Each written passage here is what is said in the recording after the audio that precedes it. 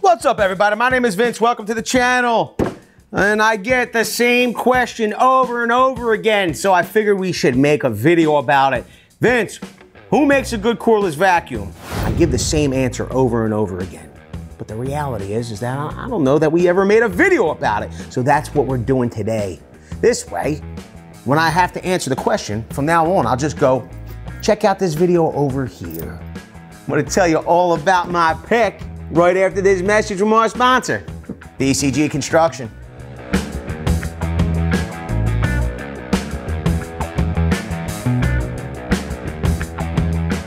So here's the deal.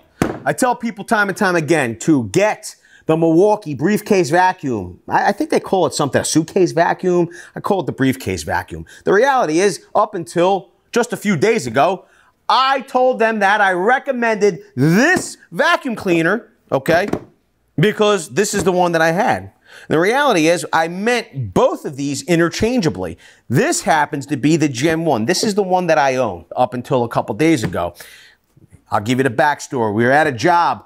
We were there multiple days. The reality was is that one for for some reason this vacuum left the truck, came into the shop, never made it back onto my truck, showed up at the job site the next day, needed the vacuum cleaner, it wasn't there. Had no choice but to send out the guys to pick up a new vacuum cleaner. They asked me, "What do you what should I pick up?" I said, "I don't know, pick up the Milwaukee briefcase vacuum again." The reality is, though, it would have to be the Gen 2 version. This is Gen 1. This is Gen 2. I would have thought that there was really no innovation, there was no real difference, but there is. This impressed me to a whole new level. Now, they both come with a HEPA filter, which is really great because no particulate is blown out of the vacuum, the, even depending on how small the particulate may be. Drywall dust, it doesn't leave the vacuum once it's captured inside here. In my opinion, this vacuum is way more powerful. They're both powered by the same M18 red lithium battery packs. Here is one advantage though. On Gen 1, you can see here, we're able to, to power it with a 9 amp hour battery. But if we wanted to use our 12 amp hour battery, it just doesn't fit in here. And there were no retrofit kits made for Gen 1 because there was already a Gen 2 out. So they felt that it wasn't necessary to make these fit the vacuum cleaner. You'll see if we open Gen 2, we have no problem fitting that 12 amp hour battery in there. What's some other really cool features about the Gen 2? I do like this enclosed switch so we don't have to worry about maybe like water getting in there and breaking our switch, busting our switch. I'm going to tell you something else. Gen 2 seems to be way more powerful than Gen 1. It also, instead of hanging your hose off the side, and it never seemed to stay inside this little, this little hanger, it, the hose is now contained inside the vacuum. All right? It attaches inside the vacuum here. Pretty cool. You pop it down in here, and then you give it a little twist. Then the hose comes out the side. You close the lid, you lock it, boom, you're ready to go to work. The other good part is your accessories are kept inside here as well. We have like a large area, I don't know, large area attachment.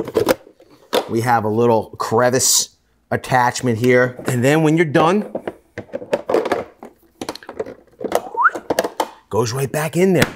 And the lid and the lid closes. The other thing is instead of having this handle that that comes up, that could potentially break off. I mean, you know, I've not had that problem with mine, but it's now integrated into the top. Seems much more sturdy to me. The one thing that hasn't changed is the way you take the top off the vacuum to clean out the canister and the filter, I suppose. There's a latch at the back and there's a latch at the front. Oh, we lift up. I will tell you this much. I think the spot where the filter is actually has changed. Maybe I'm wrong. Let's, let's look side by side. It is slightly different. And, and you would assume that it would be because I'm telling you, I was thoroughly impressed by how much more suction Gen 2 had over Gen 1. I will assume that they're interchangeable. And it seems that they are. It does have a five year warranty. The VAC, the Gen 2, is product number 0880 20. It is two gallons. It's a wet dry vac. Okay. It is, does have a HEPA certified filter. All M18 batteries fit in the Gen 2. You'll see airflow 45 CFM, that's 45 cubic feet per minute. Suction, it's 32 inches of, eight, of water lift. And here's the reality they use that measurement for even dry vacs. It, it's very odd, but they do. That would mean that you can suck water, have a vertical lift of 32 inches with this. Pretty impressive, especially for the size of it. Filter type is HEPA. We talked about that. Inlet diameter is inch and a quarter. Total weight, 10.3 pounds. Uh, you know, I got to tell you, everything is contained within here.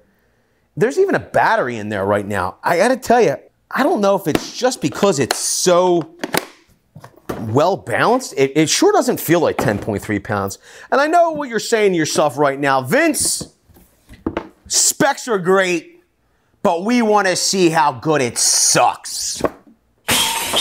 So we have some, this is just for an example, we have some make believe sawdust and nails and screws here, okay, to pretend. We'll just see how, how it do.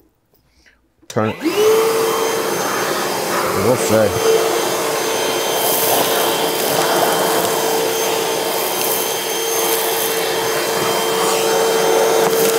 Wow. Look down in here.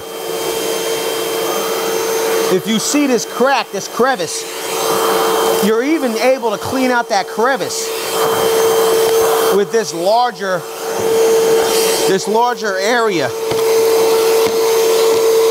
attachment. Move down here. They're doing a pretty good job with that sawdust. To get up these heavier pieces, you might have to take that larger attachment off. Let's see if it will do it with just the schnozzle here.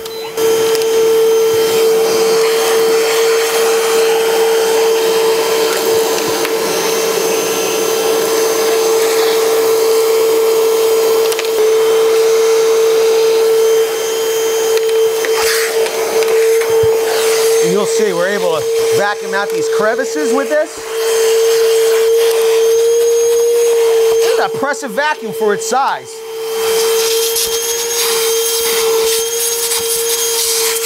Look down in these holes. Let's see if we can clear them out.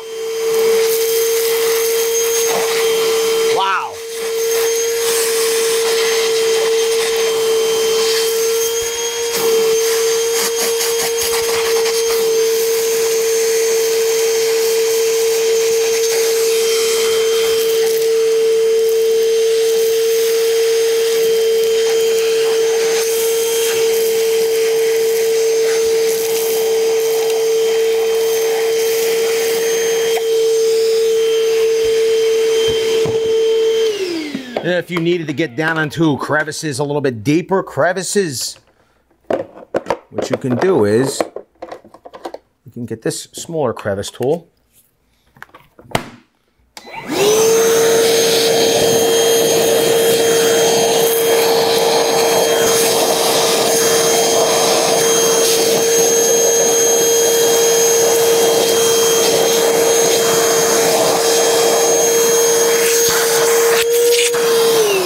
You can see we've cleaned all the way down to the bottom of this hole here. It was impressive, impressive performance from this Gen 1 that made me decide that when it was time to buy another one to go with Gen 2. And this vacuum has thoroughly impressed me again. The reality is, if you're on the M18 platform and you you do a lot of moving around, service calls, you're in and out of jobs, you need something compact and portable, I couldn't recommend this vacuum cleaner more. I think it does a great job. It really sucks. Now, if you are on a different battery platform, when I tell you to jump over from that platform just to hop on to grab this vacuum, I don't know if I would go that far, but I can tell you that unequivocally, I would recommend this Gen 2 M18 vacuum cleaner. And if you like getting a recommendation that you can trust, whether it be on Gen 1 or Gen 2, then smash the like button. It's free for you to do, and it helps out the channel immensely.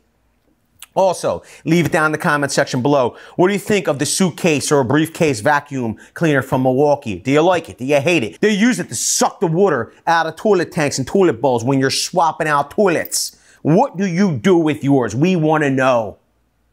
Leave it down below. With that, I want to say I appreciate each and every one of you for being here. Thanks a lot, everybody. We'll see you all on the next one. It sucks. Video's over, but I know you want more. So this is how you're going to get it. First thing you need to do is pretend you're this guy. And you're here at the birthplace of freedom. Now ring that bell like it's 1776 and let all notifications through. What? You're not subscribed yet? Well, smash this button here. After that, watch this video here, here, and maybe over here.